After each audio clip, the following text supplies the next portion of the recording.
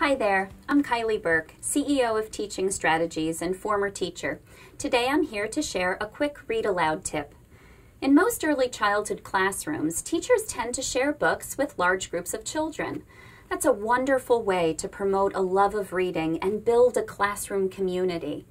However, to get the most literacy learning out of a read aloud experience, make sure you're also reading to children in small groups children's literacy learning and their motivation to read are affected more by the interaction that occurs between the adults and children during the reading than by the actual narrative.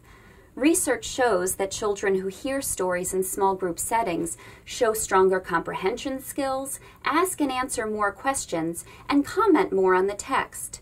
So make sure to make time during your day for small group read alouds.